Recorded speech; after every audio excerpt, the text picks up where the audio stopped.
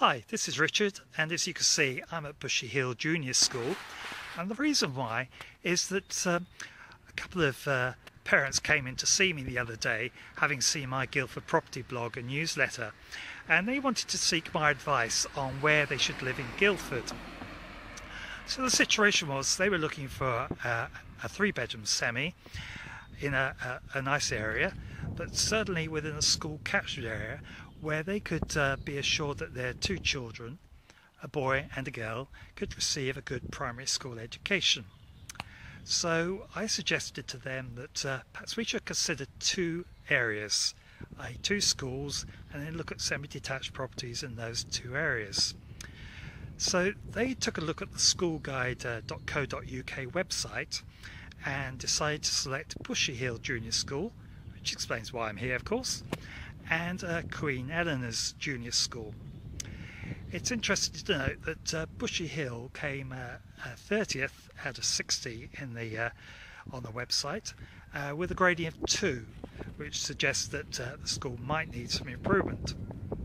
On the other hand, Queen Eleanor's Church of England Junior School came ninth out of the 60 schools in the area and that grade that school was graded 4 which meant it was a good school. So let's go off to Queen Eleanor's now and consider the figures.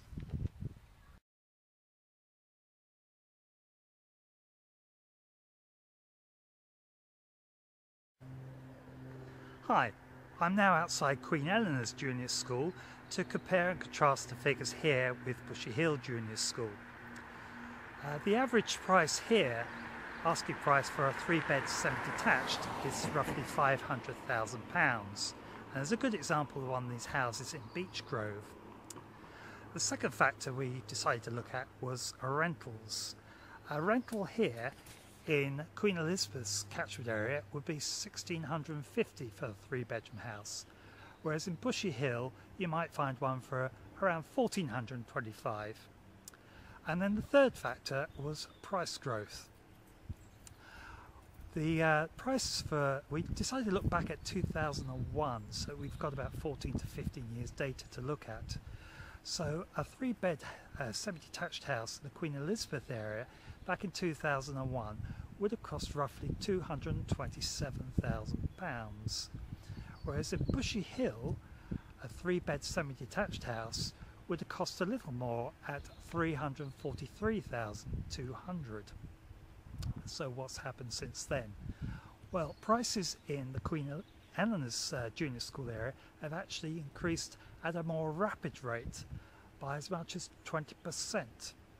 So we have had capital growth, but of course the big question is whether this will continue, and nobody can obviously determine that.